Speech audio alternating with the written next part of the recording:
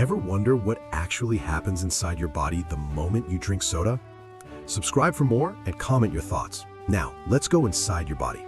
You take that first sip, and instantly your brain goes, oh yeah, sugar incoming. Your organs get ready before the soda even hits your stomach. As the liquid slides down, your stomach welcomes it with this explosive fizzy reaction, bubbles hitting your stomach lining like tiny fireworks. Your intestines start absorbing the sugar at lightning speed. Glowing nutrient particles rush into your bloodstream.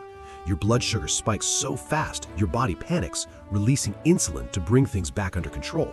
But here's the wild part. Your brain loves this sudden sugar hit.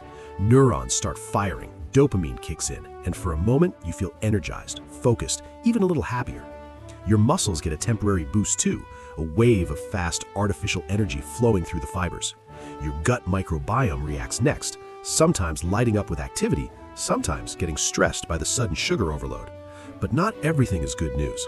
That same blast of sugar and acid can irritate your stomach lining, cause a glucose overload in your bloodstream, and eventually leave your cells feeling drained, which is why the sugar crash hits hard. So in just 60 seconds, soda goes from taste bud fireworks to brain boost to gut chaos to full body energy spike, and then the inevitable crash, all from a single sip.